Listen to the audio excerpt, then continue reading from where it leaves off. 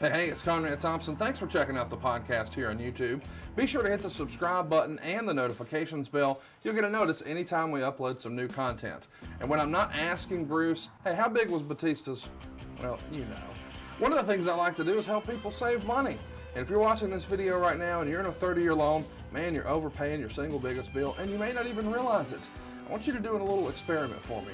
Take your calculator out, multiply your monthly house payment by 360 payments. That's how many payments there are in a 30 year loan. That big scary number, that's your total of payments. You're looking at that number? You know you can do better. Keep more of your own money right now and go to savewithconrad.com. Or maybe you've got credit card debt. Man, it's not a matter of if I can save you money with that. Your average interest rate on a credit card is more than 20%. And by the way, all the interest you pay on those credit cards, it's not tax deductible. Whereas the mortgage interest, well, that is tax deductible. So if you owe this debt, it's up to you how to pay it back. Doesn't it make sense to get the cheapest rate possible and the greatest tax deduction possible? Find out how much money you can save right now for free at savewithconrad.com. You don't need perfect credit, even scores in the 500s can be approved, and it's no cost out of pocket. But maybe best of all, we're licensed in more than 40 states. We can help more families than ever before. But how much can we save you? Find out right now for free with a quick quote from SaveWithConrad.com. These two gentlemen have long been icons in professional wrestling and now are staples in our adfreeshows.com network. Arn Anderson and Tony Schiavone, no doubt, played major roles in all of our wrestling fandoms and today are continuing to entertain us and wrestling fans the world over as members of All Elite Wrestling. Welcome, Tony Schiavone and Arn Anderson. Hello, Lauren. Thank hey, Lauren. That, that that's a that's a very nice build up. That's nicer than I could do. So, well, good. I, that's why I'm the professional speaker, and you're just here for our amusement. Oh, right? there you go. So let me just say that it's great being with everybody on ad free shows. Again, Arn Anderson, uh, being able to work with him in the '80s was tremendous.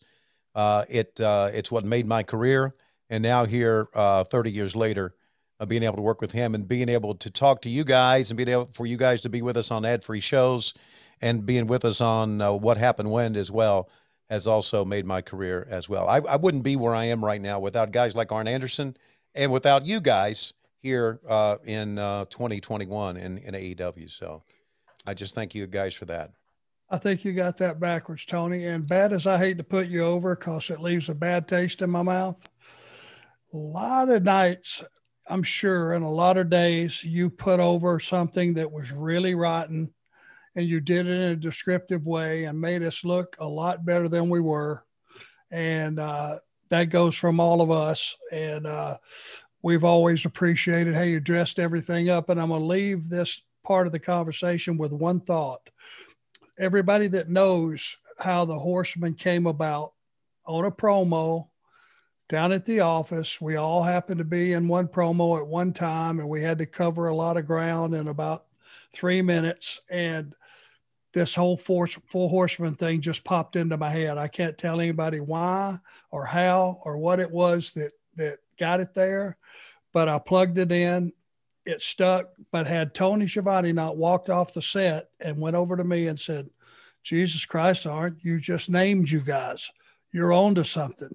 So you validated it, which told us to go ahead and go with it I don't think I've ever given you credit for that. And you should take your place in history with something that became iconic and as people are still talking about today. So I don't know if I've ever thanked you for that. I'm only going to do it once and then I'm going to take the credit from now on. That's it. Tony, how does it feel to get credit for something that you said offhanded 35 years ago? Well, you know, I, I knew they were onto something, Lauren, and I knew that uh, I knew that they were big. I didn't realize how I didn't realize about the longevity. I don't think any any of us realized about longevity. You know, we just uh, as Dusty Rhodes used to always say, we're just kind of riding on the lightning bolt, and uh, we were doing some great things. And listen, I'm telling you, and I and I don't want to I don't want to go into detail, but uh, I just held the mic and talked.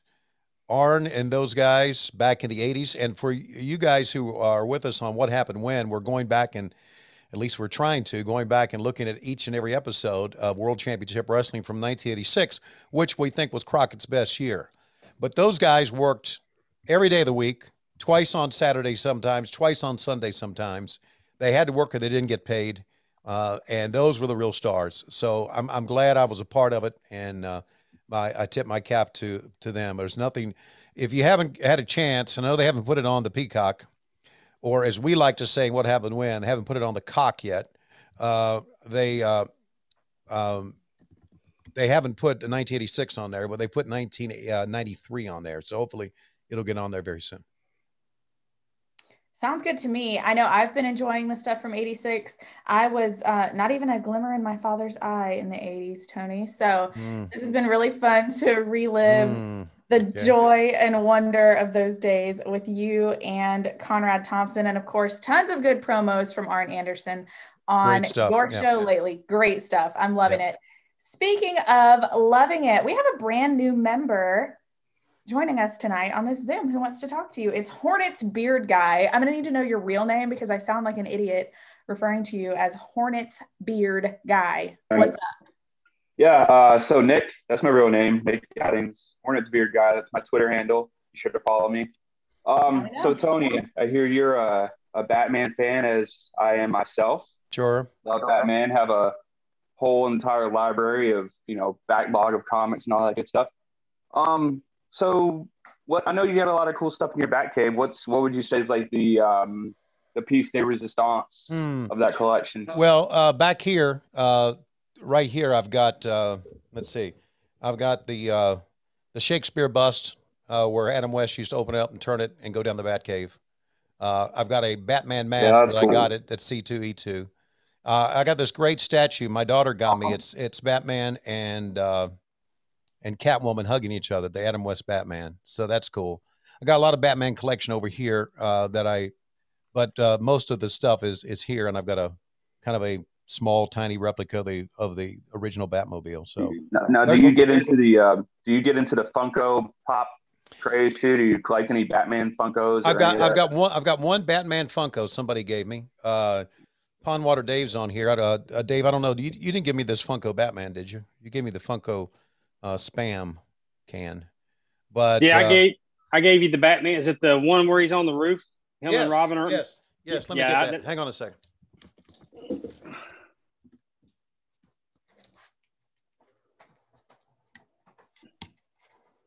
Um, and, and real quick, uh, you know, uh, while Tony's getting that, I just wanted to, um, you know, it's kind of been on the fence about this uh, at free shows, whether to join, whether not to join. But um, you know, my my good buddy, uh, I, I heard um, Efren uh, from Saved by the Pod was doing a game night, and I'm all about game shows. I dig I dig game shows, so I you know I said that's it, that's the trigger, that's the, that's the clincher for me. I'm on board, uh, getting my push, as Jr. likes to say, that is push, getting my push.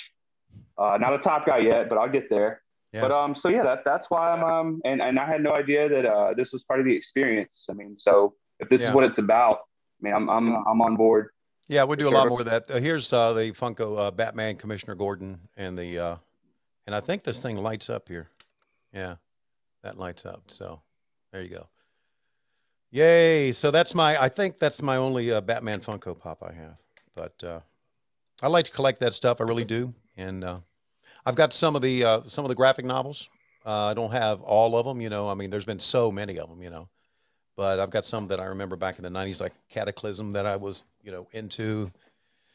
And uh, so, yeah, I just uh, I like Batman because he's a regular guy, you know, like I am, and like Arn is, regular guy. I'm I'm, I'm irregular. Yes, not, you are. Not regular. Yes, you are. Yeah, so, I, I don't think Arn is, there's nothing normal or regular about Arn Anderson. I would yeah. venture to say. Nick, thank you for that great question. That was a fun Thanks, one. Uh, Tony yeah. Tony Schiavone is a big nerd. Tony, tell us about your graphic novel coming mm. soon. Uh, it's called Butts and Seats. It's uh, the pre-sale is almost done, and it'll end on Friday, and then it goes on sale. And uh, it's uh, it's written by a, a gentleman named Dirk Manning we have 24, count them, 24 artists working on this.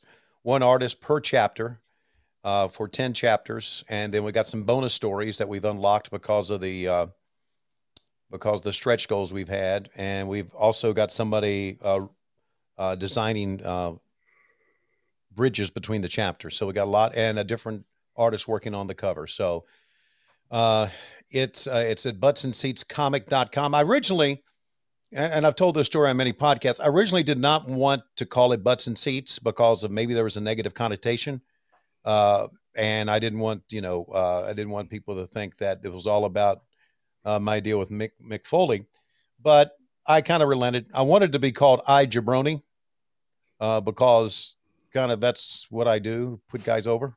So, uh, but they convinced me to call it butts and seats. So, uh, yeah, we're really excited about it, really are.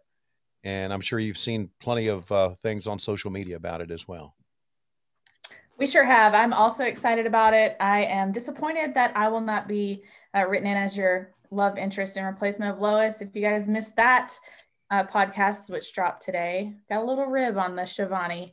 So that was fun stuff. All right, we have another brand new ad free shows member joining us tonight. First of all, first of all, though, Arn, listen to me, easy for me to say. Arn, if you had a graphic novel, which maybe one day, right? What would yours be called? Ah, my own comic book? Yes. Wow. I don't know. Anybody out there got any suggestions? I know somebody. There's a hand, not yours. Get it. Forget Let's it. hear them, friends. Tell Anybody got anything out there? I want to know as we go around for everyone to um, ask questions. If you have a good idea for this, let us know. I think we have to work Spinebuster into the name somewhere. Well, I would think So, so. Anyway, That would be think good. so too, Tony? Yeah. You're so cute. You're the I- best. Anyway, Jose Santiago is here for the very first time. Good evening. Hello, how are you guys doing tonight? Hello. Hi, Hello. Lauren. I'm Mr. Schiavone. How are you, sir? Good, good, Jose. Mr. Howard. Anderson, how are you, sir? Jose, how are you? Pretty good, pretty good. So, um, this is the first time I actually been able to test out the features on the Zoom call. Um, definitely great things. Um, Mr. Schiavone, I'd like to ask you a question. Sure. Have you received a package recently to your home within the last week and a half? Wow, I've received a number of number of packages. Uh, One that possibly could resemble the shirt that I'm currently Oh wearing. yes, I received that. Absolutely. Or did you send that to me, or that nut uh, nutball Bad Money Slim sent those to me? That was all me, sir. Oh really? Yes, sir. Tell me the story behind that, because I know he's Okay. like he's Okay. like he's like whacked in the brain. I wasn't really sure when you started talking that you were, but Yeah, no. So you know, if you've ever seen his stories on Instagram or Snapchat anywhere, he's constantly doing that upside down. yeah, So every time that he does that, it goes into the whole uh, hogwashing that you and Conrad came up with way back in the day when you were doing the the watch alongs. That you came up with that. yeah, And I thought it's like constantly. I talked to JD Hoop, who's the person who came up with the design, and I talked to him and I told him, "What if we come up with a design like the NBA logo, Mm. with him being upside down?" Mm. So he basically, you know, brainstormed that, came up with the design within three weeks, and we put it on a shirt. And I figure, you know, the first person I should send this to is to Mr. Schiavone. You were the first one that came to mind. I sent Wow. one to Conrad. okay, Um, there's a few other people that are out there that got that shirt and stuff, but it, it's mainly like a gag thing. And he he got a real big giant crack out of it completely he did. he was not expecting it. It's like he was like, Right. dude, I was like, it's like I don't know what to say. It's like, well, you don't really have much to say because you're constantly doing that constantly. So why not just make you into a logo now? Yeah. Well, there you go. So, but but he's definitely running with it. So I I, I wanted to know, uh, did, did you like the color stuff? Yeah. The the uh, see, you, I think there were three in there, right? I like the red one. for Yes. sure. Yeah. Yeah, because like I, I, I was trying to go with the Georgia colors, but it's like the the store doesn't have like close Yeah. to it. So Sure. kind of came up with, with what I could and whatnot. Right. So it's like it was like the curiosity was like, I wonder if you got them already, if you seen them and whatnot. I sure did, and, and So- I thank you for that. I I can tell you that I have close to ten thousand T-shirts. I just don't have, room for all my T-shirts. We had uh, we had recently Barstool Sports come uh, to do an interview with me and do an interview with Mhm. a bunch of us at AEW. Our last, I think, our last pay per view, and Mhm. they uh, they said, "Hey, uh, we're going to send you some stuff." I said, "Really?" They said, "Yeah." what do you like? I said, anything but a t-shirt.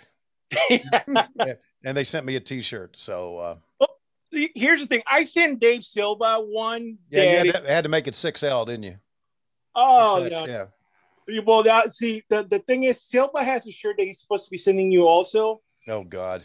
Yeah, and, but this one's funnier because it's got Silva on it. Okay. So hope, That, hope. that I won't wear for sure. I will Oh, there you go. So you can just put it in the closet with a mark in the back. It's like, do not ever wear. So All right, Jose. I appreciate you, man. thank you, sir. Excellent. Thank you so much for joining us tonight, Jose. And Tony, my goodness, 10,000 t shirts. Yeah.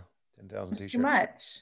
You need, Lauren, wh- what, why do you have your hair up on top of your head tonight? What's what, Wait, that's first time why is everyone doing this to me? Uh, okay, I I I don't know. Usually your hair is down, and Well, yeah, last time I saw you, I got it bleached in Florida. And so Uh-huh. that threw my appointment off. So I'm like a week late on my bleaching tone. But honey, I assure you, I will be blonde and fabulous again tomorrow. So there you okay. go. Lauren, Lauren, Yes. listen, you would look good in a burlap bag, honey. Don't worry about it. Arn is my favorite. I just, I love you guys. This Do not great. take any flack over that hairdo. If I had hair, it'd be like Ferlin Husky. It'd be about a foot and a half on top of my head and blowed straight back. I get it. It's a wrestling podcast, but he's saving us money on our mortgage. You really trust this process? The reviews don't lie. Five star review after five star review. We make it fast, we make it easy, and it's no cost or obligation. Give us a shot to earn your business. I'm telling you, you'll be glad you did, especially if you like keeping more of your own money. You don't need perfect credit or money out of your pocket, so what are you waiting for? Hurry to savewithconrad.com. Ferlin. That sounds like a plan. Huh. Speaking of hair, Uh, Tony Schiavone, you got a head full of it. It's beautiful. Adam Hunter, how are you? Uh, I'm doing all right tonight, Lauren. How are you? Well, I see you're still rocking those stupid Georgia Bulldogs hats. Well, I'm waiting on mine to come in the mail, but I don't know if it's on its way yet. Not yet. Arn, Tony, how you guys doing tonight? doing great. Yeah, go dogs. yes, sir. Go dogs. God, I love you, Arn, for that. Love you Yeah. for that. Go dogs, Tony. You go dogs. I was at Sir. Sanford. I was at Sanford Stadium all day today. Oh man. Yeah. Hashtag humble brag must be Yeah. nice. Yeah. Well, it was it was kind of uh uh it was a lot of bullshit, but I was there. Okay. No, I just just a quick question. Uh, during your interview with Britt Baker today, did I hear you give her a future endeavor? Yeah, I gave her. a few- I've given her a lot of future I thought endeavors. I heard that on, the, on the interview. I just I didn't know if that was a little poke or what that was, but No, I, uh-uh. I rather enjoyed that. no, that line was actually given to me by one of my producers, so I, I that wasn't me going off on my own. All right. Well, I appreciate you being here tonight, guys. Y'all have a good one. Thanks, buddy. Thank you. Great stuff. AJ Espinoza, how are you? I'm doing well. And yourself, Lauren? Well, I was better before I got dragged for having ugly hair, but it's fine. Holy, he You're made getting me- you know, of Wait a minute. I have a, revel, a revelation here. Yeah. That is not who he says he is with that deep ass voice. Ooh, Ladies, ladies and gentlemen, that voice. that is Barry White in disguise. Give me some of that. Give me, Yeah. you can't get enough of your love, man. Can't get enough of your love, Oh. baby. Told you. There you go. oh, this is such an honor to speak to both of you uh, this evening. Um, Arn's got me turning red over here. This is going to be bad. Going, don't go with the black shirt. But uh, I wanted to ask both of you, just from Tony, from you sitting at ringside, Arn, you being in the ring, and excluding yourself from this, Arn, what has been your best rivalry that you witnessed over your careers?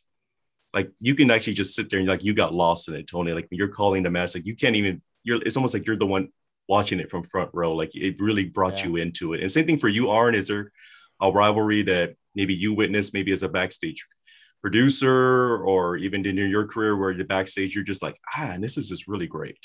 These two guys are just having a great story, and I love to see it play out. You know, uh, one that probably doesn't get enough credit, but if you go back and watch it, I think you'll agree. Chris Benoit and Booker T had a best of seven series, and uh, it went all seven matches. And th- those guys weren't getting the full push back then. It wasn't like they were superstars when the thing started. But by the time it was over, because all every one of those matches were different, the quality of performance was incredible. That's one that I remember that that didn't get a lot of press, but probably should have. And some people should go back and open it up and re you know relook at it and see what you think. You know what? I one. yeah, that is a great one. I and I didn't even I had forgotten about that, but you know, you're right. Uh, that that was tremendous. I uh, it, it's hard. It's I, I've always said the best matches and the best rivalries, uh, AJ. Just like you said, ones where as a announcer, I quit being an announcer and become a fan, and I, I get into that. And uh, you know, I can. Uh, we're looking at '86, and uh, I'm thinking about just the rivalry between Dusty and the Horsemen, and Magnum and the Horsemen, and Magnum and Nikita, and those. And and I say those because I was a I was I had been just a super fan prior to that, and now here, five years later, after being a super fan, I was working with these guys. So I was still a fan calling those matches. I was really into it. It's it's it's changed for me now, but I still really I enjoy the matches. But it's it's it's a whole lot different than it used to be for me because I mean I was the age of the guys, and now all Mhm. all the guys and girls I call for are kids, right? the age of my kids, so it's a little bit different.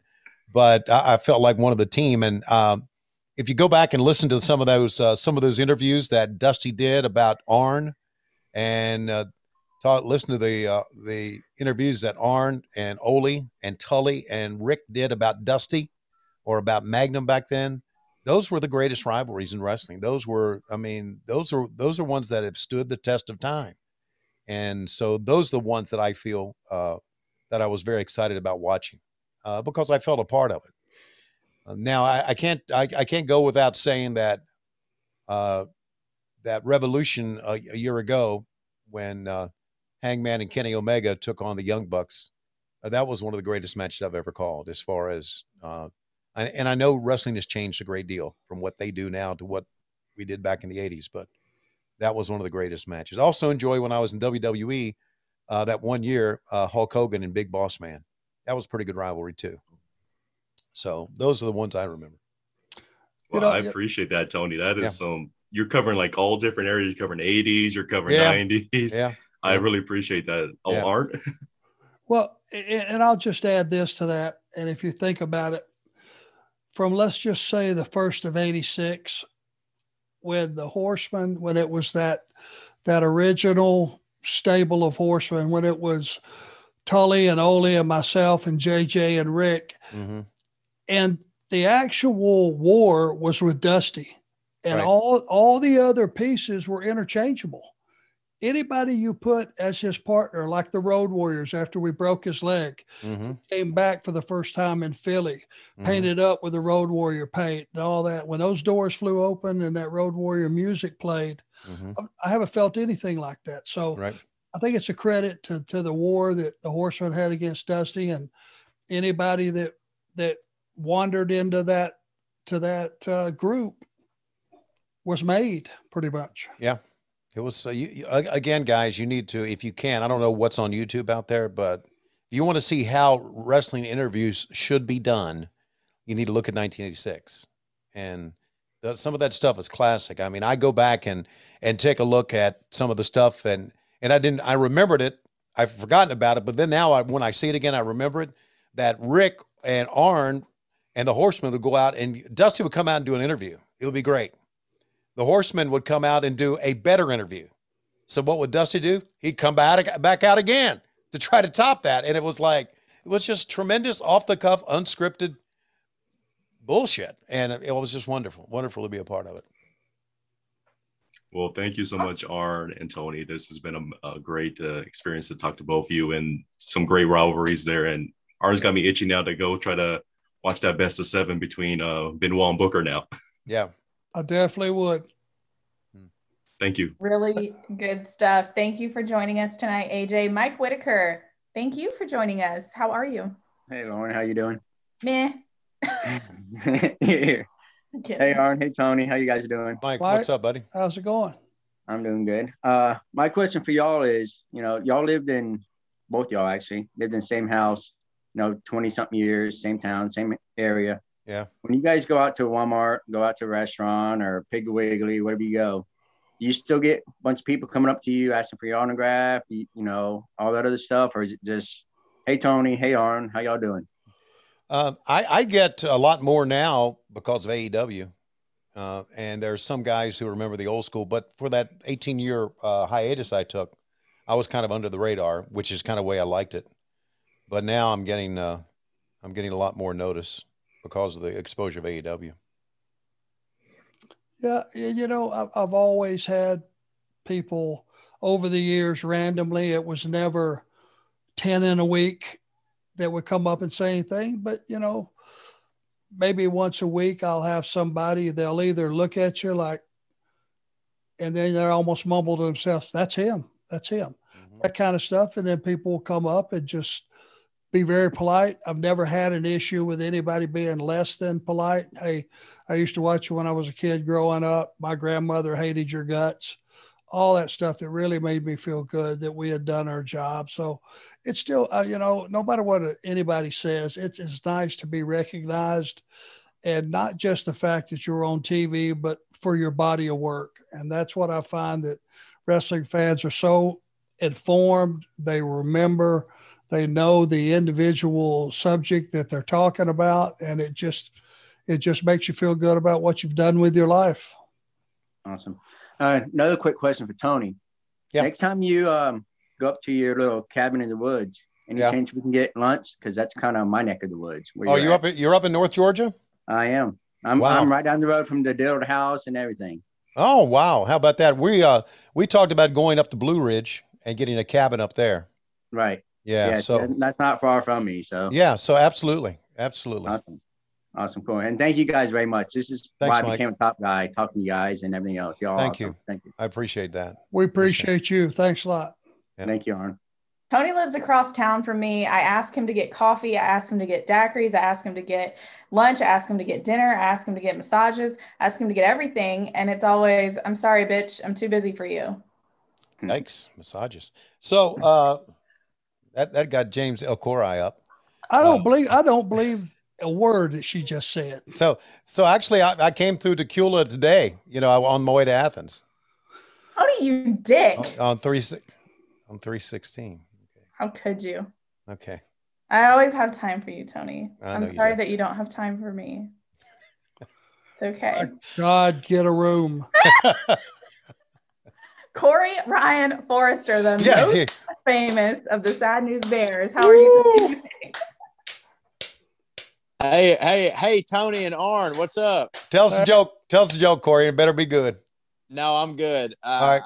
I, I just hey, listen. I don't have a question. I just want to come over here, come on here, and put both of you guys over. This uh, this past year has been very difficult for, I mean, everybody. Sure. Uh, and one one thing that has really gotten me through on days when I was like, man, you know, I, we've all lost sight of ourselves, especially some of those uh, of us in the entertainment business who have lost our complete identity. I don't know what to do, but I can turn on what happened when I can turn on Arn and I can lose myself for a couple hours because you guys are so entertaining. And I also have to give you a personal, both of you guys, a personal thank you. Uh, Tony knows this, Arn maybe not, and it's fine. But over the past year, I've got I've kind of gotten myself over a little bit more in my career using this uh, wrestler persona, the Buttercream Dream, wh- who who is yeah, Tony, shut the fuck up. It's fine. I'm talking to Arn right now. Okay. I, Well But- said. Well said. but here's the deal. Here's the deal. You guys, like when I was a kid, I mean, it was it was WCW, it was the Four Horsemen, it was it was Arn Anderson, it was Tony Schiavone, and so much of my and I say this in quotes, promo skills that I've used to create this character came from that old school uh, uh, wrestling, you know, Four Horsemen type, and and to be able to keep up with you guys now in a completely new format that is so entertaining is just great. I appreciate the work that you guys do because I know you put a lot of work into it. I appreciate everything that you do for your fans, and I just appreciate your love for the game because that is what really that's what inspires me the most is how much you guys truly love what you do. And i just want to tell you that uh, i'm a big fan and i always will be and uh, appreciate you.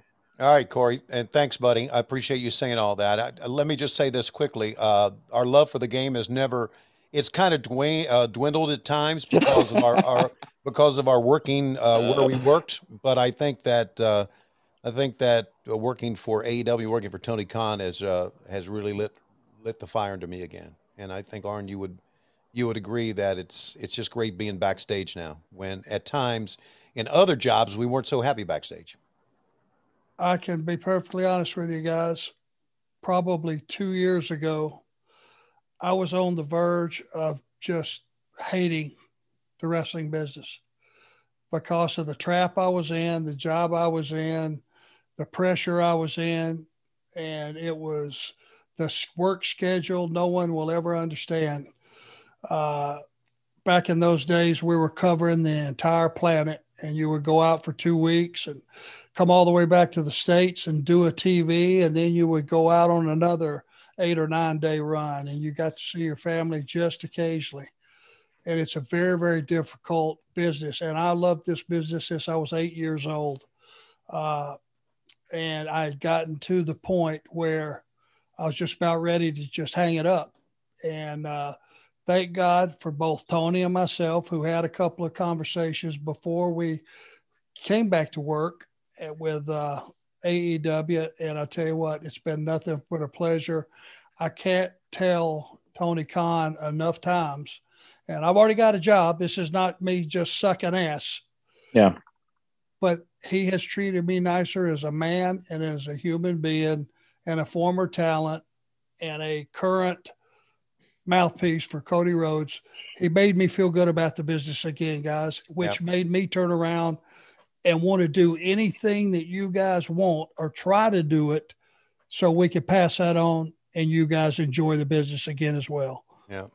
Very well said. He's he's a great leader for us. And when you have a person who's a great leader that makes you care about your job, you you do better, you work better. So, uh, just a, a, story back in 2017, I believe it was, maybe 2016, the WWE came to uh, Phillips Arena, and I got in touch with Arn, and he said, "I'll get you backstage." So I'm thinking. You know, I hey, you know, maybe I like to work backstage as an agent or a producer or something. And I walk backstage, to the the room that Arn and uh, Scott Armstrong was in, and Fit Finlay and Jamie Malenko. Malenko and Jamie Noble, and it was like a fucking morgue. Those guys were and those guys were in a, like they were like fucking in a bad mood and like, and I walked away from there and says, no, I don't want any part of this, buddy. Uh, but uh, it's very it's so unlike that now what we got backstage. So yeah, he's uh, he's changed the business for us, and that's why I get so pissed off when when people say bad things about him online and on Twitter and on on social media, uh, it it blows me away. It fucking blows me away that people out there want companies to fail. Why would you want that? Why would you want any company to fail? I don't want any company to fail.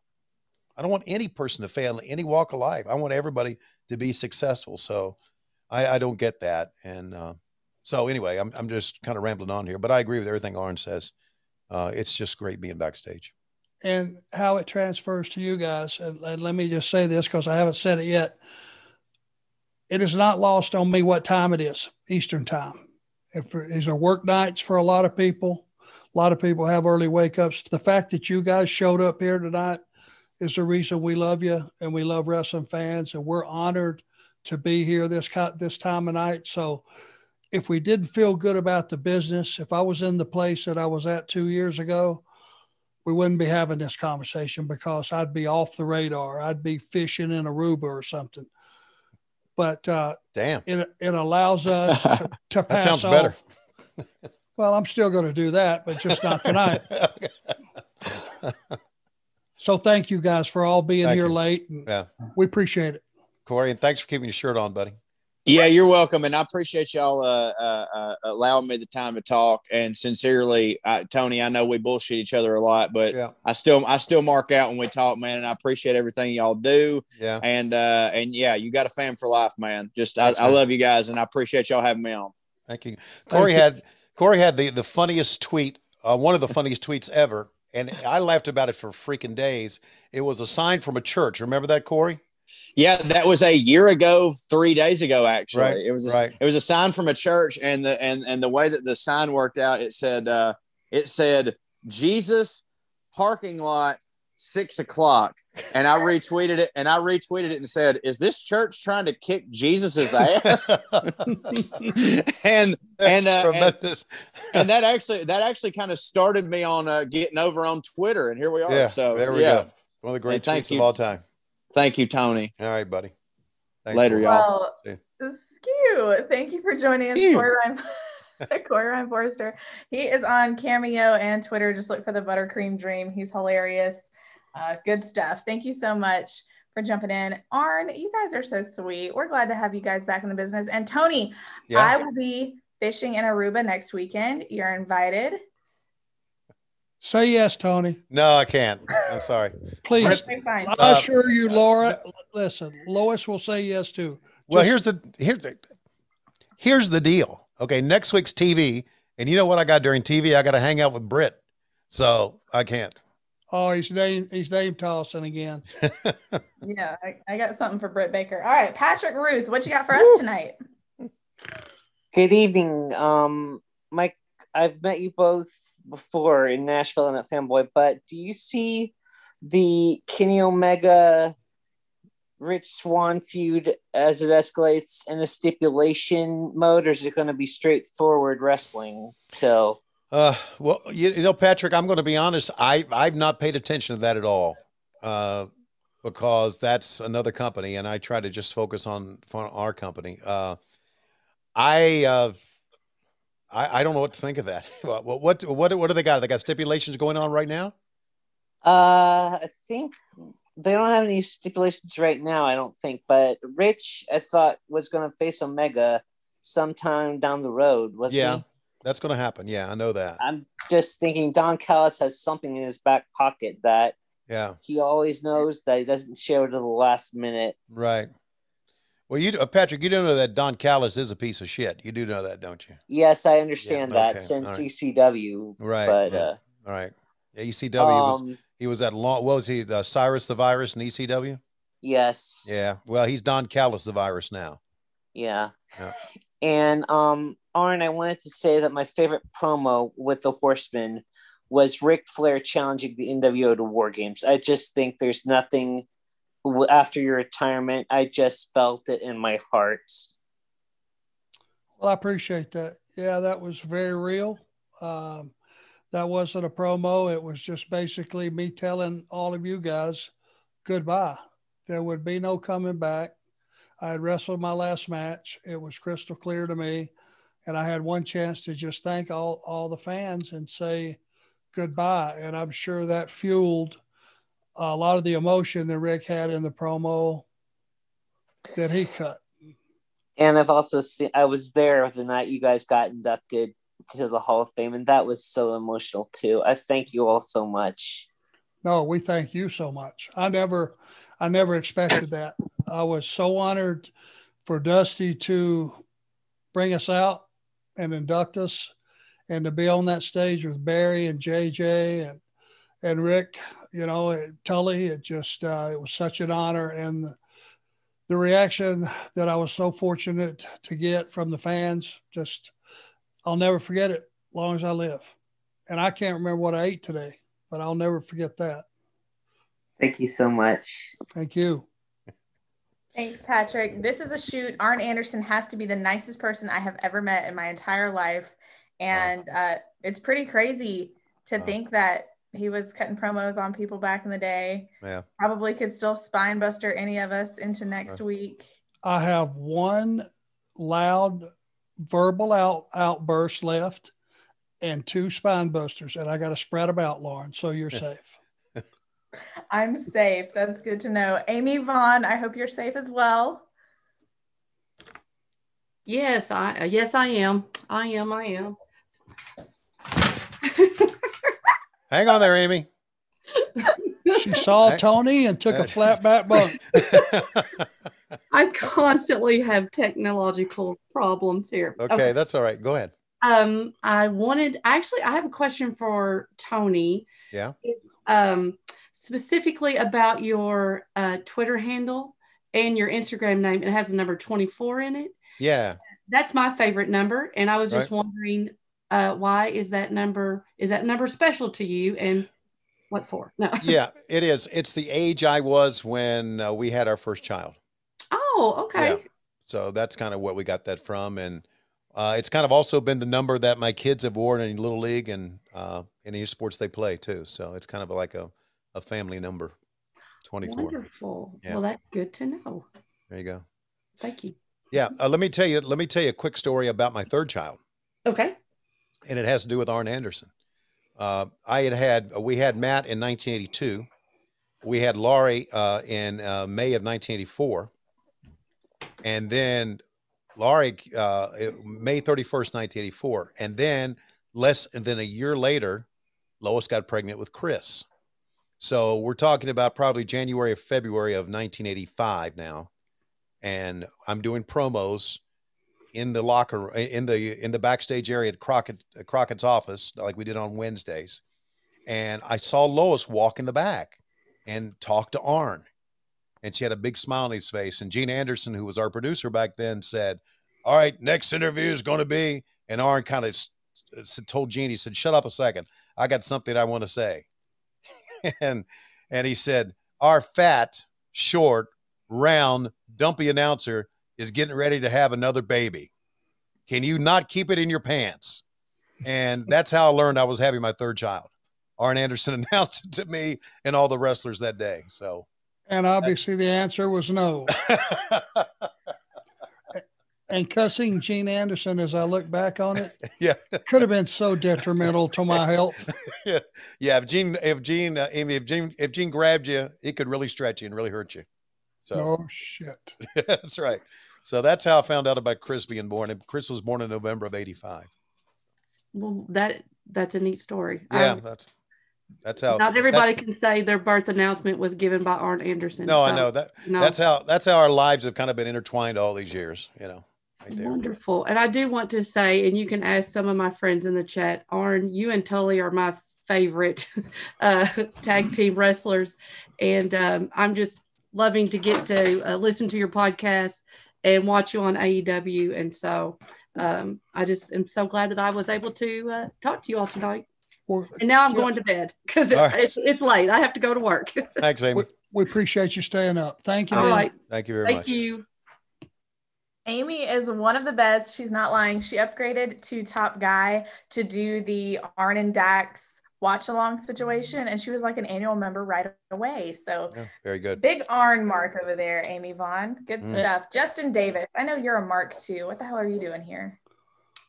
Well, it is an honor to, um, first of all, hello, Lauren. It's good to talk to you again. Always. Mr. Schiavone, love you, brother. It's always good Mr. Mr. Davis, how the Pittsburgh uh, Pirates doing? Uh, let's, uh, they're, they're shitty as usual. Okay, sorry. I'm sorry. You're a Reds fan. I, I'm sorry. I. Okay. Um, Mr. Anderson, it's an honor to talk to you for the second time. I met you at Starcast 3. It is uh, great to talk to you again. So, My pleasure, young man. My pleasure.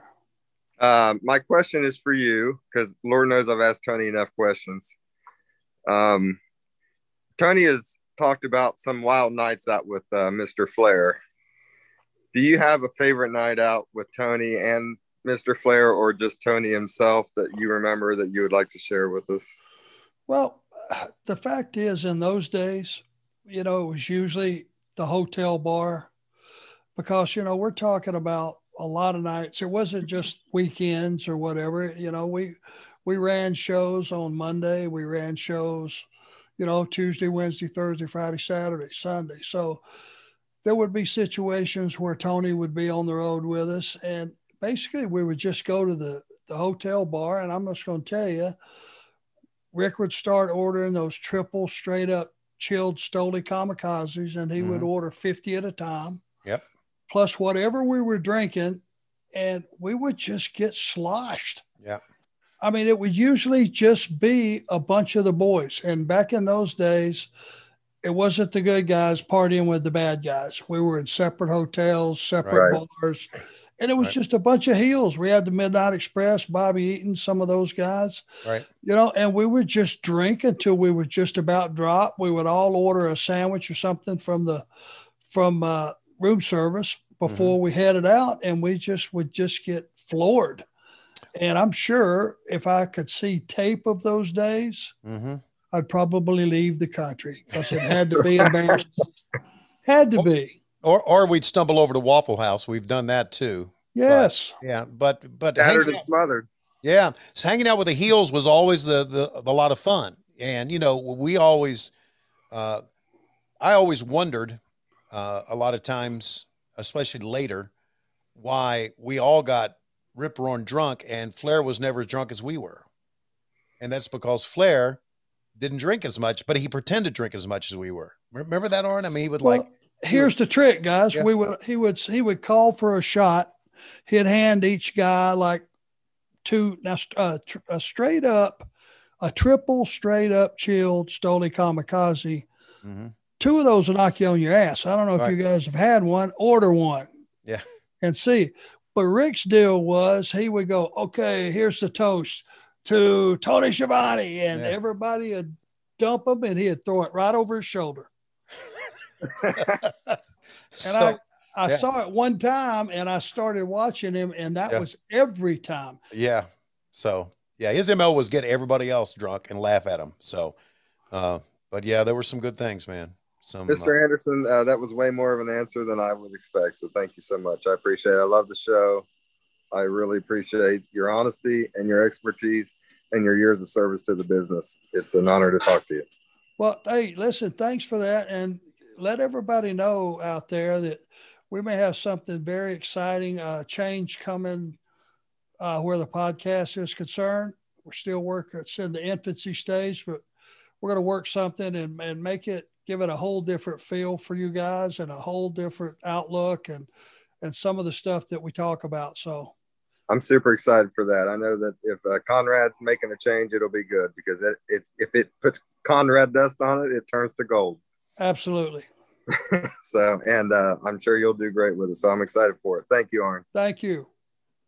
Well, ain't that the truth? Just sprinkle some Conrad dust and everything gets better. Guys, keep that deep kayfabe. I don't know if we're supposed to know that Arn is is doing something different. No, it's just, right? it's just some changes. It was a te- it was a tease. That's all it was. It was a little promo tease. You oh, have- you're a tease. I'm going to Waffle House this week. Do you want to come? uh, I can't. Fine, fine. All right. This next guy's name is Moose, and there's just no way his mother named him that. Yeah. No, no, no, Lauren. Um, I, I, did not get the nickname Moose from my mother. My given name is Mark. Um, but I was given the name Moose when I was in indoctrined into a bouncing group. Uh, I was a bouncer in my younger days. Um, and the fact that I'm sitting here with, with Arn Anderson and Tony Schiavone, uh, I, I, I could cry. Um, what, what, what these two gentlemen actually mean to me um, is, is beyond words. Um, the group I, w- I was brought into was, was a group of bouncers and they were also wrestling fans and they called themselves the horsemen. Well, there was only three of them at the time Mm. and I made number four and I, I I'll never forget that that I stood there and, and I put up the four fingers and they all did the same thing. And from then on out, we were the four horsemen of the bouncing community. Um, so it's an honor to sit here with Arn, the founder of the Four Horsemen, um, and tell that story. Um, but I, I really don't have a question for you, gentlemen. I just want to tell you what you mean to me um, growing up before I got into bouncing and, and discovered the friends that I've had for almost 20 years now, um, wrestling was my life. You, you two gentlemen were a big part of me growing up. Um, I would have a really bad day at school. I, as I got older, I'd have a bad day at work and I would come home and I would turn on old WCW tapes and it was really, it's kind of sad, but I, at, at one point, people would ask me who my best friend was, and I'd say Tony Schiavone, because I would turn on an old tape, and Tony would would, would be there to tell me a great wrestling story, and I could always count on Arn's matches be, being steal show stealing things. So I just want to tell both of you gentlemen from the bottom of my heart, you guys are, are big parts of my life. You guys have inspired me to, to do a lot with my life. Um, and, and thank you so much for putting out the content that both of you put out. Um, 1986 Jim Crockett Promotions, 87, 88. That's my bread and butter. That's the stuff I will literally watch on repeat. And, and to be able to sit here with you gentlemen and tell you that makes makes me so happy right now. Um, it's also a big week for me because I just bought my first house and me and my wife are moving out, moving out of our apartment right now. This is my walk-in closet. Um, that I do a stupid little wrestling podcast from. Um, but thank you once again to, to, to put it all in uh, a bow on it. Thank you both so much. Thank you, Lauren, for hosting this. Thank you, ad free shows. Just, just know that you guys impact people's lives in, in much more meaningful ways. And you are the reason people like you that we're here tonight. Yep, that's right. You just summed it up, my friend. Yeah. There's a bond between wrestlers and announcers and fans that most of us aren't even aware of, you know, uh, until we hear something like that. And it might as well have been that we went to the same high school. You just personalized everything that we do and everything that wrestling fans do. I can't say any better than that. So Yeah. thank you for that. Well said, Arn. I just, uh, Moose, what you said just now makes what we do all worth it. Uh, because we're, you know, we're just like all of you guys. We're just, Arn was a wrestling fan. I was a wrestling fan. But to, to real, when someone says to me, you're the voice of my childhood, you know, I, and they say, oh, I, I'm sure you hear that all the time. I say, yeah, I do. But I appreciate hearing it because it makes my job, makes me what I do seem worth it. So And- thank you for saying that. Yeah, and and one other thing, I I called my dad earlier and I said, Dad, guess who I get to talk to tonight? He goes, Who? I said Arn Anderson. My dad's 63 years old and goes, Shut your effing mouth. My my my dad, me and my dad bonded over wrestling. Um, my my first memory in life is Clash of Champions one.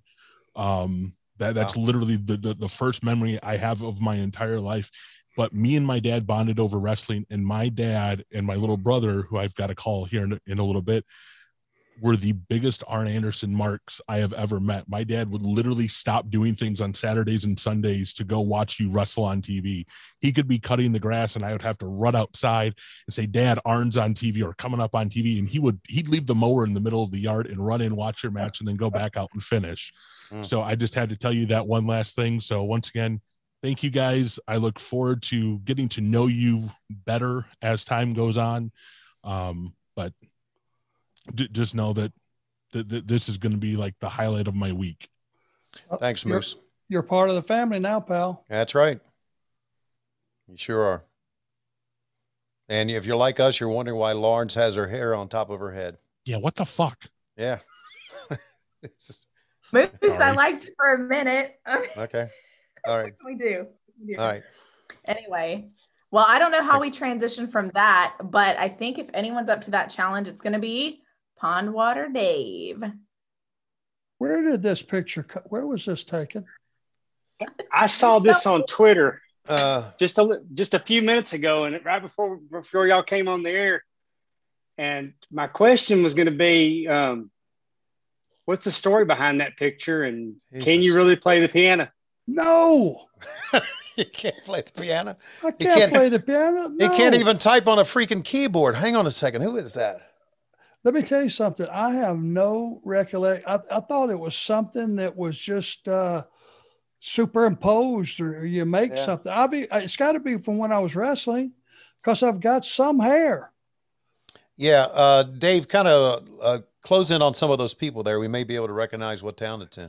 The only thing that is that Dennis Condrey That's up lo- in the right-handed corner. Yeah. It looks like him, but but you can't tell. But I, everybody else looked like civilians. I think. That's right. Yeah, they are. but it looks to me like it's a hotel lobby. Yeah. That's probably back in the Pensacola days, wouldn't you think? No, this had to be in the Crockett days. I swear. Uh, if right. you look at behind, it looks like a Marriott, Yeah. maybe uh, just in the like the lobby bar or something. Wow. Yeah. How about that? But I, but I saw that for the first time tonight when you guys did. So who would have posted that? Dave Silva? Um, let me see if I may still have it on my. I just I like don't- to. I'd like to know where it was from too. Yeah. It wasn't. Um, I just saw that it was just, um, they had tagged Conrad in it, so that's why it came up where I I had seen it. Huh. Amazing. Unless I can really play and don't remember it.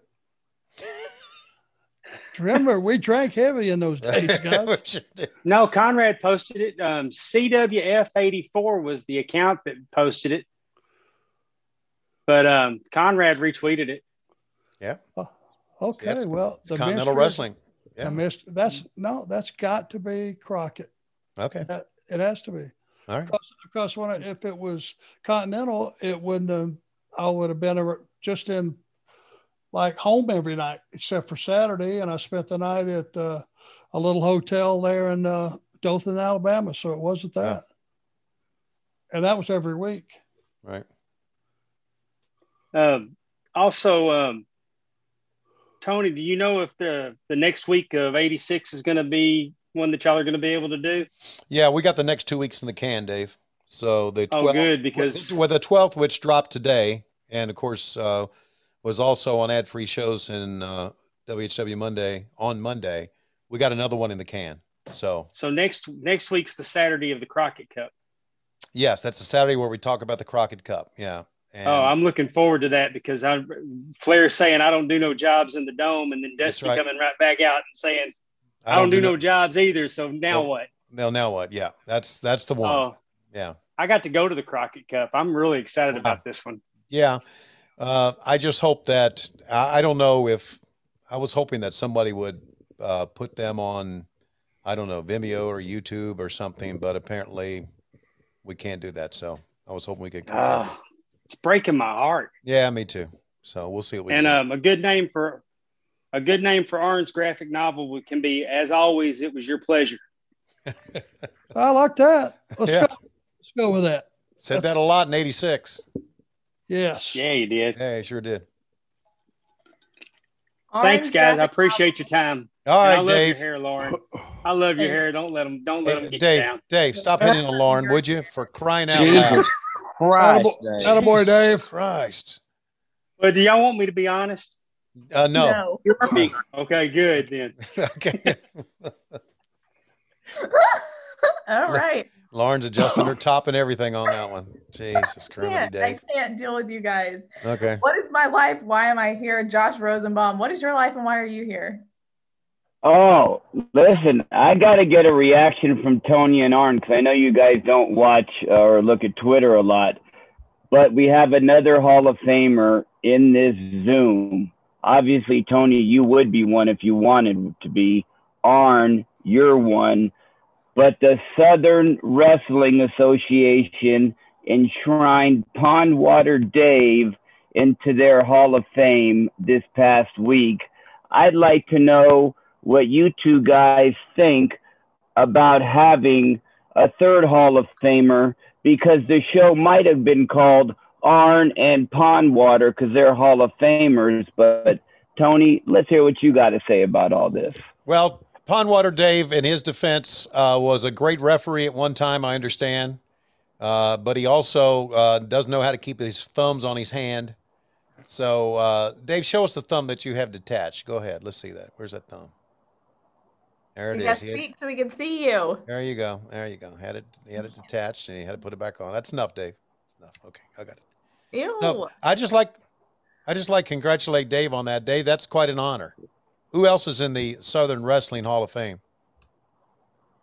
Stan Hansen, Bruiser Brody, Terry Gordy, Holy shit! uh, Tug Tyler, and Chaz Tyler are going in this year. Um,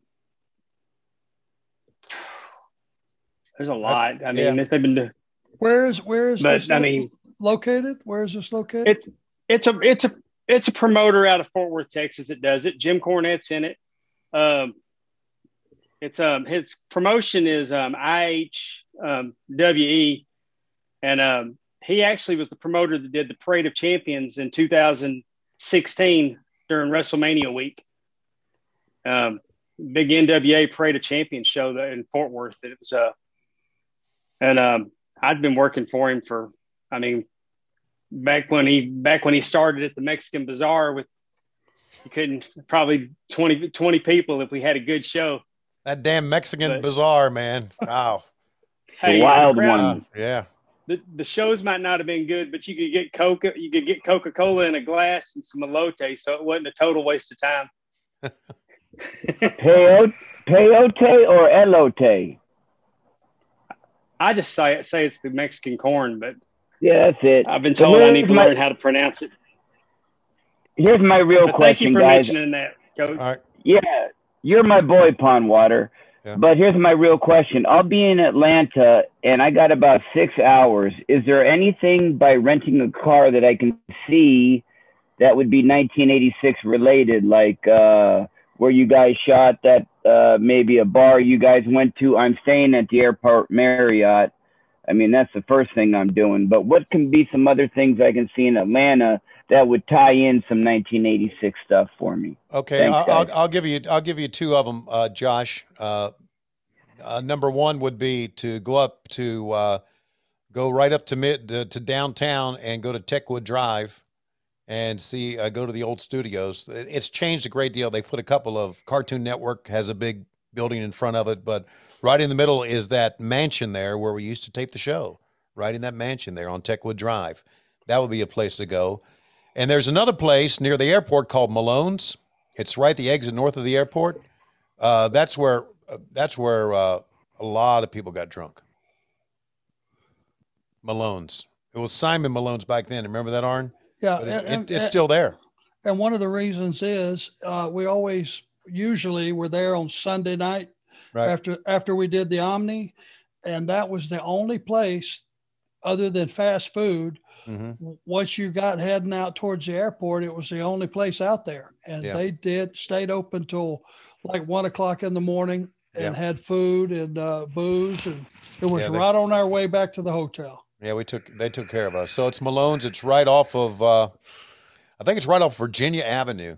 It is Virginia Avenue, Virginia Avenue, which is just right north of the airport. So there you go. and I bet it still looks the same. yeah, it does. From the outside, it does. I I haven't been inside of it, but I've been by it. I can't wait to go Saturday night. Thanks, guys. All right. You bet. Uh, Tony, I'm actually going to be drinking at Malone's tomorrow. So if you don't- Upon Water Dave, it's about a 15 hour drive for you. Get there soon. Tony, No, sir. If her husband's going to kill me, he's going to have to come to Mississippi to do it. Wow. Jesus. Tony Schiavone is the worst. Dave McClay. I hope you're not as bad as Tony. Nah, I'm a great guy. How you guys doing? Hey, Dave. Hey, Hey, Dave. how's it going, Tony? Hey, Arn. How you doing?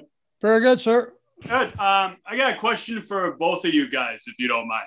Okay. Um, if WCW got relaunched back in 2001, and they had the plan to do the Big Bang Theory pay per view, um, would you guys have been on board with that? You know, the new leadership at WCW under Eric Bischoff. Would you have guys been on board with that? And what would your roles have been if that if that happened? Uh, let me answer that. For the, the answer to me was yes, because Eric had talked to me about, you know, that I'm going to buy this company and I'm going to do this and you're still going to be my announcer. So I had at one time thought that we were going to still be on TBS under Eric's guidance. So that would have been yes for me. So, Who knows if AEW would have existed if that yeah. happened? Yeah. Mhm. Yeah. Who knows? Yeah. Just who knows? Right. What about you, Arn? I don't, you know what, to be perfectly honest with you, I don't think I would have survived the cut. They were probably would have started with a lot of new everything. I'd been there for 12 years and I'd about had my run by then. So I probably would not have been included in the plans. I'm, I might have been offered something, but I'm not sure of it. To not include you in the plans would have been really crazy. Let me tell you. Yeah, that would have been. I appreciate No. that. Thank you very much.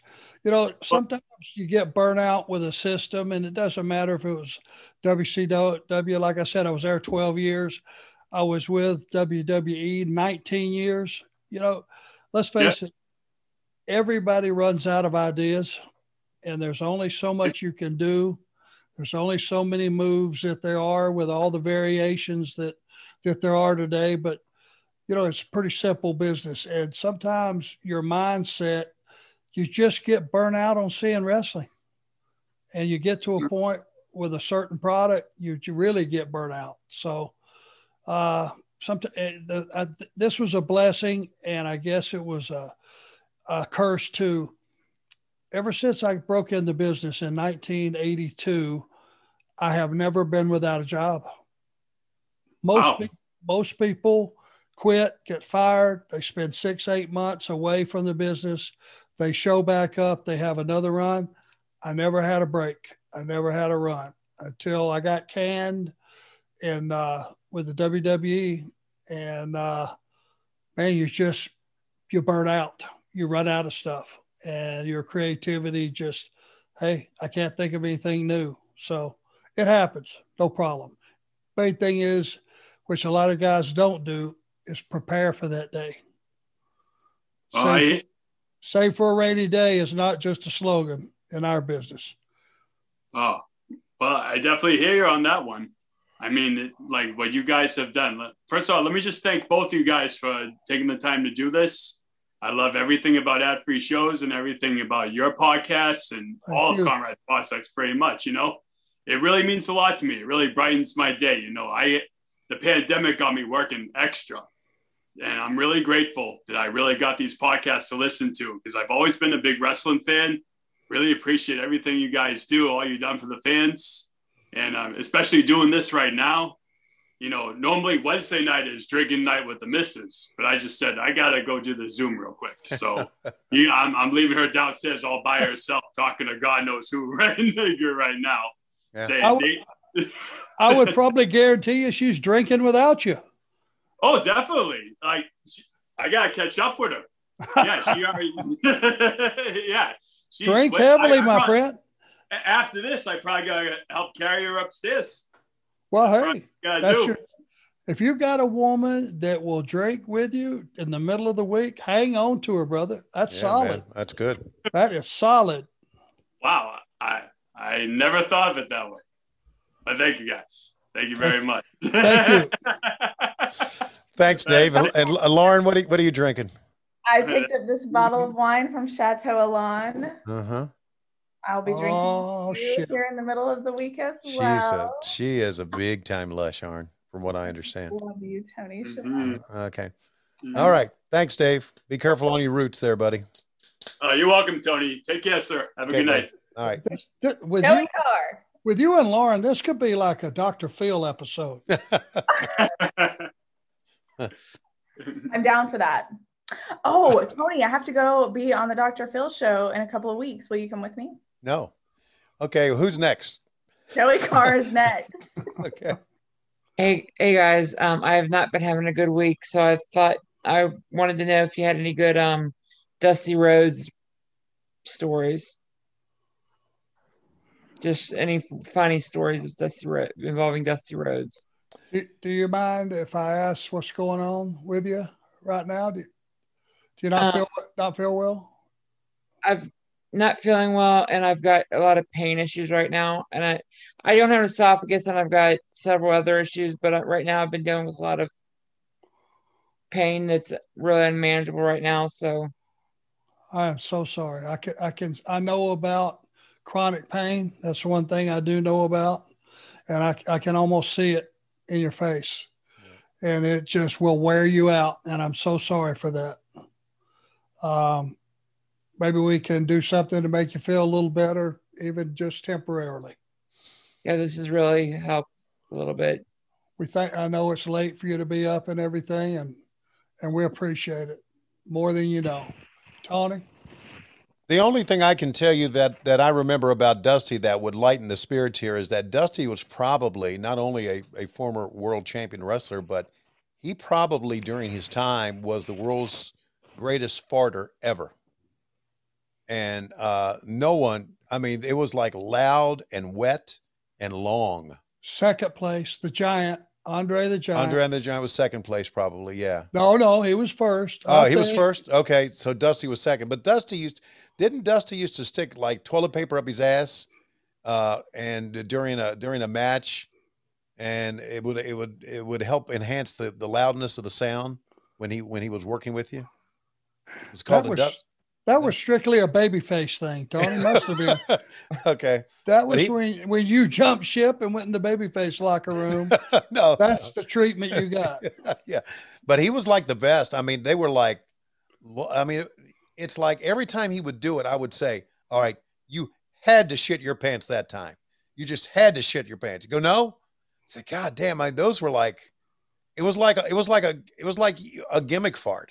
You know, it was like no one could fart that loud and that long and sound that wet." But that's how he was. He was the best at it ever. I'm sure this this young lady has really enjoyed that. okay. Um, and then any good Steiner brother stories? Wow. You know what? This is a it's a reality, and I'll tell you because it's current. Over the weekend, I I did a signing at WrestleCon down in Tampa, and uh, WrestleMania weekend, obviously. And if you remember Rick Steiner, forget about Big Papa Pump. When you first saw Rick Steiner, and probably would have been eighty five or eighty six. You remember how thick his shoulders were? First time you saw him on TV, I mean, they were like grapefruits. Right. So I saw him, him and his brother were down there this weekend. I came around the corner and there he was. And he was like, I mean, he looked fit and all that, trim, but he looked like he might have been 220. So I just, it took me a minute to figure out, you know, Jesus Christ, that's Rick Steiner. Went over and we were talking, and I went, "Hey, Robbie, let me, you know, tell me the truth here. You know, it's like, do you look at like your Facebook, if you have Facebook or your wife's Facebook, and some of these guys you went to school, I mean, you see pictures of them now, don't they look old as shit? And he- looked at me, went, yeah. I said, do we look that bad? Now, you know, I was fishing for a, a positive answer. Mm-hmm. He said, Arn, we look like shit too. He said, I said, but that's not what I want to Rob. He said, I said, I tell the story all the time about coming in the gym and you having 365 pounds on the bar. I thought you were benching, you were doing behind the neck presses. And he looked at me and he went, and he raised his shoulder about that high. And he said, That's as far as I can raise it. Yeah. And that's reality of what this business does to you. But uh, that's my story. Yeah, well, he and uh, he and his brother, as as, as Arn could, uh, I mean, they were the toughest kids ever, right? And Yeah, oh yeah. yeah, and it, it's it's like you know, there's there's probably a handful of people in the business that, in reality, you really didn't want to fuck with, and he was one, and uh, probably S- Scotty too before he became Big Papa Pump, and you know, obviously Haku was another one, you know, uh, and the Barbarian. Tho- Those Steve, guys, you, Steve Williams. Steve Williams, Dr. Death. You just did, you didn't want to fuck with those guys. And for some reason, Eric Bischoff's son, Garrett, who's a grown man now, back in the day was like this little punk that would run around and, and fucking around with wrestlers. Okay. And that he would run around and like, he would like hit Rick and hit Scott or something. And they would, they would beat the fuck out of this kid. They would take him and slam him up against the wall. And I would say, God damn, you guys are being rough. They would said, fuck it. You know, that's he wants he likes this. And Garrett would laugh and he'd go run around. They'd take him again, bam, right against the wall. I'm thinking, You're gonna hurt this kid, buddy. You're gonna hurt this kid. And they just laugh. But they were that's the way they were. They were like they were like pranksters. I mean, there's there's a story, I don't know if it's true, that uh, they were in Germany one time and Oliver, who was our uh, German announcer, that they got him drunk and they taped his uh, hands behind him, duct taped his hands behind him, and he passed out. And they shaved all of his eyebrows off and wrote with swastikas with sharpies on his forehead and everything, and laughed about him. And that's just the way they were. They were like, uh, they were a lot of fun to watch fuck up other people. So Yeah, I was lis- listening to the Steiner, the Scott Steiner 83 weeks episode that I'm halfway through. Yeah. And yeah, they apparently were really fun when Eric Bischoff met um the Steiner brothers. So, yeah, but I yeah, I'm trying. yeah, I, I, I I miss him. I loved him. I really did.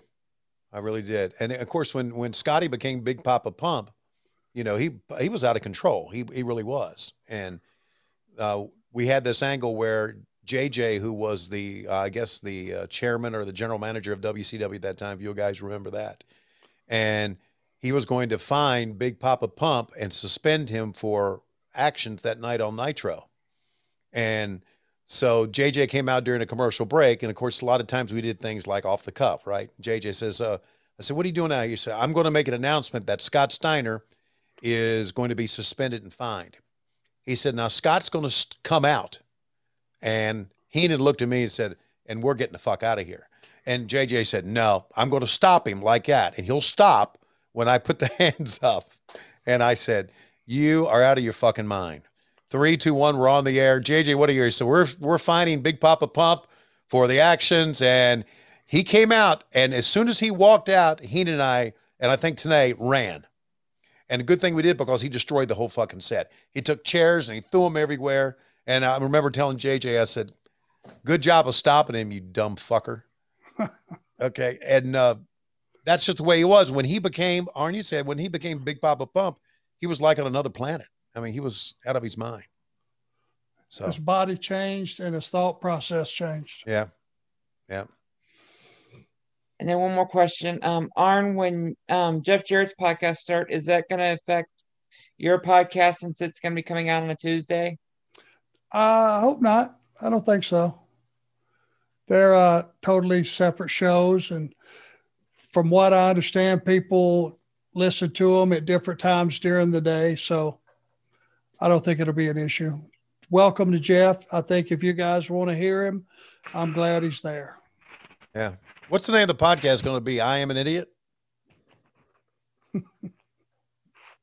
That's Just going to be put- the name of your next graphic novel, Tony. Oh, thank you very much, Lauren. You're you're drunk now, aren't you? A little And my bit. idea Yeah. for Arn Anderson's podcast book graphic novel is obviously should be our Spine Buster, Leave. Yes, Yeah. that's it. Let's let's go with it. Yeah. I love it. We're going to take your advice. That's beautiful. That was perfect. Joey, big man, thank you so much. Thanks, Good Joe. to see you as always. John Hickson, what you got for us?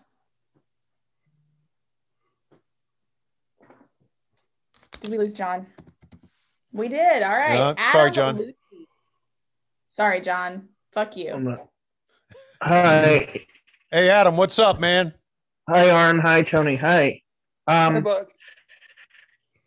I'm gonna reiterate what Moose, the guy Moose was talking about earlier. I don't really have a question, but like WCW, even though I grew up in Boston, I was a huge WCW fan, and I wish that they ran more up there. But you know, 6:05 on Saturday, no matter where I was, I was in the house watching. I mean, I've li- I literally remember leaving a birthday party early one time to rush home and watch WCW Saturday night. I mean, it was so important to me, and it was such a shame that it went out of business, but I know it had to. I mean, Turner was mismanaging it and all that, but it's so great that both you guys are back because, like you were saying earlier, you really were the voice of my childhood, Tony, and Arn, you were always one of my favorites. Well, we're glad to be back and we're enjoying ourselves. We're glad you are too. And uh, let's uh, let's get this pandemic thing knocked I out. I love both your podcasts. Thank, Thank you. you. Let my family save your family some cash. You don't need perfect credit. You don't need money out of your pocket, but we will save you money. It's not a matter if, it's a matter of how much. SaveWithConrad.com. Yeah. It's an honor to talk to both of you. Same to you, sir. Good Thank you so much. Really glad, really glad to see you, Adam. We're gonna start winding this down a little bit. Carl Mandick, what you got for us tonight? Hey, what is good, Lauren? What is good, Arn and Tony? Carl. Real quick. Yeah. Uh, and this goes out to Arn and to Tony. Tony, your last televised appearance was April the 1st, 1990. So this month, 31 years ago. Is that right? Am I doing the math right? My last televised appearance? With the WWF Wow. It was April the 1st. How about that? It was Wrestling Challenge. Uh, I was doing a little research. Arn and and to Tony, um, Tony, had you stayed there, would we be having this uh, discussion today? Had I- we stayed in the WWF? Correct. Who loves hypotheticals? Yeah. No, you know, I, I, you know, I always like to think about that. If, uh, if the financial agreement that we made over a handshake deal with Vince McMahon would have came to fruition, we would have stayed there and worked our ass off and possibly been there for 10 years. But it, it was a situation that, uh, when you leave one where you get lied to about your money, and in this business, fellas, the only power you have, the only bargaining power, the only independence you have in this business is how much money you got in the bank. Because it allows you to say no to bullshit, maybe to semi bullshit, and yes to a lot of cool stuff. But we got the shaft. That's the reason we left Crockett prior to WCW buying it. And we got there and ran into the same thing, and it was just too much. And you get to a point in any business with any job where you keep getting the shaft, you got to stand up and just go, hey, no. And uh, had that have went through, and Tully and I have stayed there because they used us good. We cannot argue about the way we were used, and uh, we still had a lot of a lot of good to do in that company, and it could have changed, you know, the futures of a lot of people and a lot of companies. Who knows? We were confident that we could make a big enough contribution to whatever company we were in. So. And I think the most frustrating thing is, Tony, you actually gave them another option. You said, Hey, I like the Coliseum home video part of things. I mean, you gave them something else to say, okay, if not this, then that. So I've always found it to be like, what if he still was there? Yeah. And then do we get JR? So I, I don't know. It was Yeah. something I saw that ran across my, you know, the social media timeline and just wanted to get your thoughts on it. Yeah, I, I don't know if, uh, you know, uh, Carl, I don't know how long I would have been able to stay there. Mm. Um, just a lot of things going on in my life at that time. And, uh, you know, when I first got there, JJ was there and JJ brought me in. He's the one that called me and said, would you like to come to work for Vince? Because Vince would like for you to come in. And, and I remember having dinner in Connecticut with JJ and his wife, who was Lindsay at that time, and Lois and I had dinner and we were talking about our future in the WWF. Well, it turned sour very, very quickly. Uh, very quickly, Vince didn't like my work. Don't know why. And very quickly, he was he was not good to to JJ. So I left, and uh, Lois didn't want to live there, and JJ ended up leaving after that. Became very disenchanted with it. So I'm I'm not so sure. Even if I would have in 1990, in April of 1990, that year, if I would have not stayed, I'm not so sure how long I would have stayed. Have had I stayed, I'm not so sure how long I would have. It means we'd still be having this chat. Yeah. We means that Lauren would still be kicking ass as host. And that's all I got, guys. Yeah, well, Thank I, you. I, I say this every time. I'm glad I moved to Georgia, and the reason I am is because of that dog right there. I would have never met him. So there you go. We got two Bugs besties. Actually, I just ordered a third because Oh. Mm, we got to we, we're going to do a little red one for the Go Dogs. Sorry, Lauren. Little boy. Ew. Choke on uh, those words as they come out of your mouth. We'll call him a Falcons red. We'll call it Falcons. There you go. I guess we'll go with that. All right. Well, thank you guys so much. I want to get to one final question. There can only be one. Okay. But first, if you guys want to get the exclusive Bug Schiavone trading card, it's available at buttsandseatscomic.com. Go check it out. Make sure you check out Arn Anderson across all social media platforms. He doesn't have shit to do with it. Spoiler alert, it's kayfabe. But follow Arn Anderson, follow Tony Schiavone, follow ad free shows. Thank you all for joining us. Jimmy Lucas, you get the last question tonight, my friend. Sorry about that. Thank you. Hello, Tony and uh, Arn. Hey, Jimmy. Hello. Oh, sorry, Arn. It's okay. How you guys doing tonight? We're we're I'm doing great, man. That's awesome. How about you, Arn? Fantastic. That's awesome too. I got a question for both of you. Sure. What was your guys' reaction when you seen Sting in the crow makeup for the very first time? How did you feel when you seen that? Uh, in- the light of what uh, the NWO was doing, I thought it was pretty freaking cool. I really did. I really, I, I really bought into it. And it's kind of, you know, it's kind of become his calling card now, right? I mean, that's what he is. Yeah. So it's the, it's the gimmick or it's the makeup that that's that stood the test of time with him. I think that if Sting would have walked in, walked in AEW with uh, bleach blonde hair and colorful paint, we wouldn't have uh, popped as hard. Uh, so, yeah, I, I, I was I really bought into it. I liked it a lot. How about you, Arn? Yep. You know, it's hard when you have a gimmick. You know, he looked as good in some of those outfits as a babyface in the early 90s as anybody in the business. Right. I mean, he, he looked like a million dollars. He was tanned, he was in shape, had the hair, the gear, the whole thing. And uh, it's hard when you have something over like that to have a complete, whole, total gimmick switch. And it went from being as bright and as you can be to to a really dark character. And I thought it fit the story more than anything. You know, NWO was kicking everybody's ass. You know, they were dominating the company, they were destroying everything about WCW. And when he showed up with that new look, new motivation, and if you understood the story, it gave you hope as a WCW fan that, you know, they were going to be able to pull this thing out. And so I thought he he was the leader of that company all along. And when he switched characters, he continued to be the leader of the company. So I thought it was a good thing. Awesome. Speaking of awesome, this Zoom has been hands down one of my favorites. I want to thank everyone from adfreeshows.com for joining us.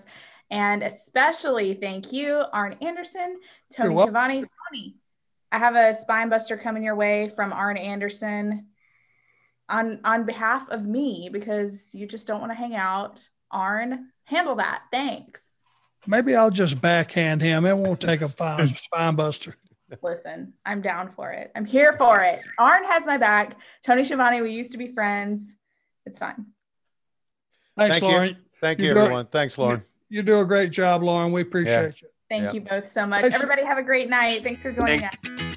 Hey, hey, it's Conrad Thompson. Thanks for checking out the podcast here on YouTube. Be sure to hit the subscribe button and the notifications bell so you get a notice anytime we upload some new content. And go save yourself some money right now. If you're in a 30 year loan or you have credit card debt, it's not a matter of if I can save you money, it's a matter of how much. Find out right now for free at savewithconrad.com.